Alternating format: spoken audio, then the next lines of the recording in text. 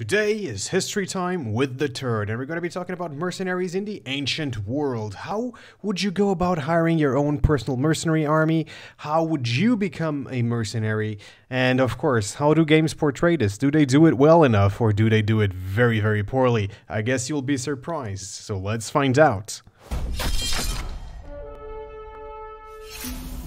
In video games and pop culture, a mercenary is commonly portrayed as a professional soldier, an efficient killing machine, and often stronger than the rest of their army, a mysterious and greedy class of people who seek to profit from war. When one thinks of mercenaries, one might think about the medieval mercenary companies who would fight for the highest bidder, but in a classical period, this is not how mercenaries worked at all. Let's first establish what was a mercenary in this time period. A mercenary was a person who was hired by a state or nation foreign to themselves. Imagine if a city-state of Athens, for example, were to go to Sparta and hire a Spartan person to fight for Athens. This person would actually be a mercenary, regardless of their martial skills, killing potential, or equipment. It is obvious that a trained soldier would be much more valuable than a not trained soldier, and generally speaking, after big wars such as the Peloponnese Wars, there would be an increase in the supply and use of these former soldiers in nearby conflicts. One of the most famous mercenaries in this time period was Xenophon, who actually led an army of mercenaries. They were the 10,000, employed by Cyrus the Younger between 401 and 399 BCE in his attempts to defeat his brother and take the Persian throne. The campaign of the 10,000 ultimately failed, however Xenophon left us with an interesting picture of how to recruit mercenaries, their pay, and how were their lives under his mercenary army.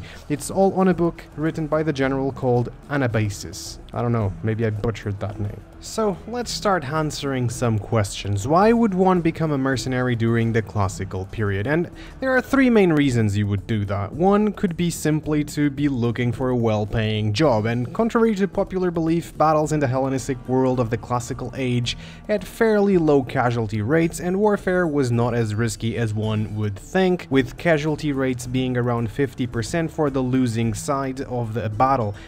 Wait, wait, wait, 50%? No, not 50%, it's 15%. Much better, in it. And battles were far less common than one might think as well, where each war would only have a few large-scale engagements. After war, part of the men from a defeated state or nation could be exiled, pushing some of these into mercenary work as well, and finally, citizen soldiers might take a liking to warfare and be willing to go abroad to fight for other nations using their knowledge of warfare gained fighting for their own homes and applying those in the employ of a foreign ruler.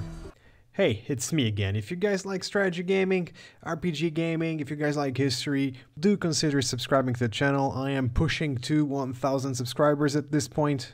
We're a long way ago, so I need everybody to join Team Azade and subscribe to the channel. Consider that, and I'll see you guys in the end. Alright, so how would you go about recruiting a mercenary army and how could you get recruited into one? There were two main ways one could go about recruiting mercenaries, and depending on the place and period one way could be way more popular than the other. On the one hand, a rich person could send recruiters with a bag full of money around the world to specific regions from where the rich person would want those mercenaries. As we spoke above, these mercenaries would not necessarily be trained soldiers or even have their own equipment, it was normal for the army armies they would integrate to provide them with some basic gear. Sometimes gear they would be familiar with and other times not so much. If you were the rich person and wanted a company of Cretan archers for example, you might send recruiters to Crete and instruct those recruiters to only hire men with excellent archery skills. Or you might be taking in everybody looking for a job in the military in which case you might have to train them into archery yourself. This was the most popular way to recruit mercenaries at the end of antiquity and the classical period. For example, the Romans would hire mercenaries and make them auxiliary units from these men. The Romans would train them, equip them, and give them citizenship at the end of their service.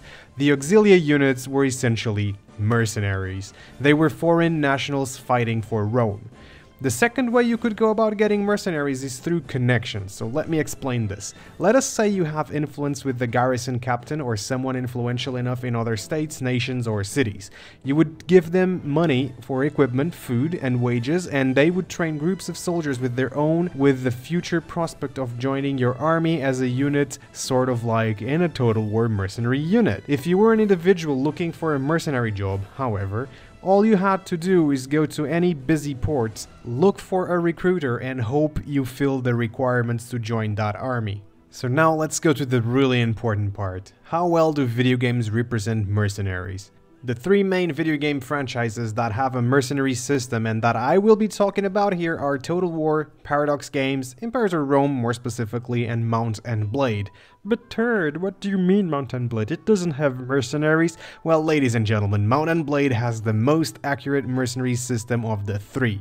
You go into a foreign town and you ask who is willing to join your army for a price. You can either do this, or once you have a castle, send out recruiters into a certain region to get the mercenaries of your choice. Historically accurate. Adding to that, sometimes lords will ask you to train a certain number of soldiers and give those to them at a later point, trained up. Once again, historically accurate, they are using connections.